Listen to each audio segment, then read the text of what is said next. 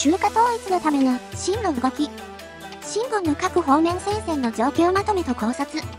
皆さんこんにちは。宮司のコーランです。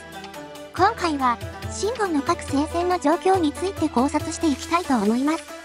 ぜひ最後までご覧くださいね。なお、こちら本誌ネタですので、単行本派の方はご注意くださいね。中華統一を目指し、戦国七雄相手に多方面の戦いを続けるシーン。統一まで、未だ道半ばというところですが、現在の戦況はどうなっているのでしょうか？これまでは、蝶がピックアップされていたため、他の国との状況などもわかりづらいですよね。そこで秦が直面している戦線について、各国ごとに考察してみました。今後の展開はこうなってほしい。これが気になった。などありましたら、ぜひ、コメント欄で教えてくださいね。もし面白いと思ったら、ぜひ、動画下からチャンネル登録と高評価をお願いします。1、大腸聖戦。まず、大腸の聖戦についてですが、今、最も真が注力しているのがここですね。漁業を攻略し、療養と列尾を結び、大分県の半分を真の手中に収めました。そして、漁からすぐ近くに位置する長音と簡単を王戦軍が狙っています。簡単攻めのために4戦から引き続き、王戦、歓喜、4単話が戦線を担当しており、加えて、李信、王本、モルテンも王戦参加に参陣し、将軍以上の武将はこのようになっています。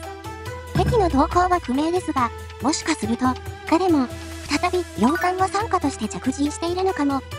そんな新軍に対し、趙は、四季、趙王をめぐる内乱で、大いに国力を減らしています。特に、軍総司令で趙軍の要であった李牧や、その配下が趙軍から追われている状態であり、現在は胡蝶が中心となって真に備えており、王翦もその堅牢さに攻めあぐねているほど、魚と関東の間にはハンコと平壌という2つの防衛拠点もあるため、ここをどうやって攻略するかが簡単攻略の鍵となるでしょう。2、大義戦線。次に大義戦線ですが、この戦線は進捗が芳しくありません。というのも、義に対しては、銅が大将となり、ご本命と対峙していました。しかし、蝶の行攻略に際し、列尾確保のため、銅は、録鬼を伴って、一時、犠牲戦を離れます。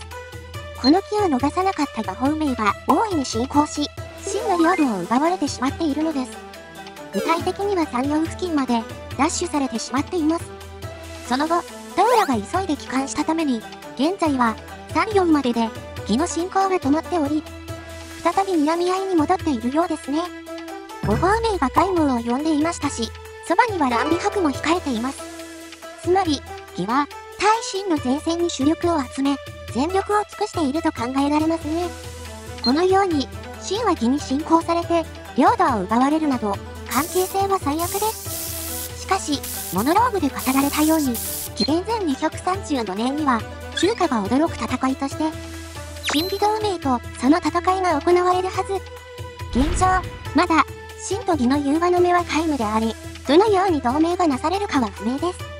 3、大感染線。続いて大感染線ですが、こちらは国境を接しているのにもかかわらず、現状は対峙している真の軍はありません。そもそも戦国七雄三弱の国であり、国土、軍の力ともに弱小と言えます。官には、この状況で、真の領土を攻め取って、それを維持する力はないのだと思われます。そのため、カンは、いたずらに敵意を買わないよう、シンへ軍を出さずにおとなしくしているのでは。また、カンとシンの国境は、ギとシンの国境とも近く、そこにはトウ軍が展開しています。もしも、カンに何か動きがあれば、トウ軍が義軍とまとめて、共に対応するつもりなのかも。4、大祖戦線。次に大祖戦線ですが、緊迫化そしているものの、現在は落ち着いている模様。大祖戦線には、ノーブを大将として据えて、その動きに対応しています。ソは、作中では、中華でも最大規模であり、下に攻め込んでも滅ぼすことはできません。いくつかの国を滅ぼし、その国々に対して向けていた戦力を統合して、そう攻めないと、逆に、真の力を削るだけの結果になる、という可能性が高いわけですね。そのため、モーブにも攻勢をかけさせずに、迎撃を方針として動かせていたようですね。合唱後以降、何度か、ソカラシーへの進行もあり、決して生還できる相手でないことは明らかです。蘇川の戦力としては、対新戦線には、カリンを大将とした軍が出てきており、紅玉や白霊といったその若手も、カリン機下で新軍と戦っていました。たびたび注目される訓練は、東の大将軍の中から、対新戦線にはいない可能性が大です。ですので、次に、秦と蘇がぶつかるとしても、その大将がカリンになるでしょうね。ここまでが、秦と国境を接しており、即時開戦もあり得る国々との戦線でした。そして、ここからは、国境を接していない残りの2国についてご紹介していきます。大西戦線。まず大西についてお話ししていきます。聖は、王である王権が、関陽に直接乗り込み、聖と中華についての問答をしています。その際の結論に納得した西王は、秦に対し、一旦は生還する約束をしていました。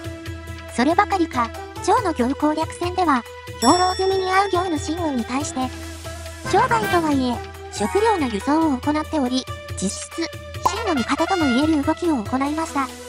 それ以降、具体的に、真への援軍を出した、などという動きはないために、再び生還姿勢に戻ったのだと思われます。しかし、数年後には、趙に、将軍を援軍として、発兵する史実があることを考えると、現在、すでに、水面下で宅配あたりと交渉し、裏取引が行われているのかもしれません。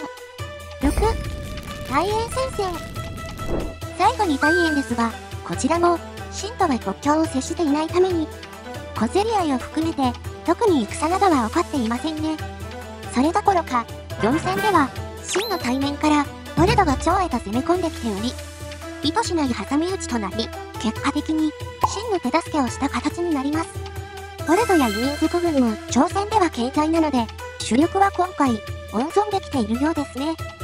秦と国境が接するまでの円の方針として、同盟を結んだり、進行したりすることはなさそう。そのため、数年間は、新目線から円について何か描かれることはなく終わりそうですね。以上が、秦の各戦線の状況整理と考察でした。こうして整理すると、現状までは、対朝戦線にかなりの資源をつぎ込んでおり、他の隣国については積極的に進行せず、現状維持を狙うのが戦略目標のようですね。しかし、対朝戦線が膠着してきた今、別の方面を攻めて状況を打開する。という方針転換も大いにあり得ます。ナレーションで語られた予想外の戦いも、この状況を踏まえて考えてみると、新しい発見があるかもしれませんね。次の新軍の動きがどうなるのか、楽しみにしながら待ちたいですね。本日も最後までご視聴いただき、ありがとうございました。今後の展開はこうなってほしい。これが気になった。などありましたら、ぜひ、コメント欄で教えてくださいね。本日はここまでです。ぜひ、チャンネル登録、高評価をお願いします。もしリクエストがありましたら、コメントや Twitter で教えてください。以上、宮司のコーランでした。またね。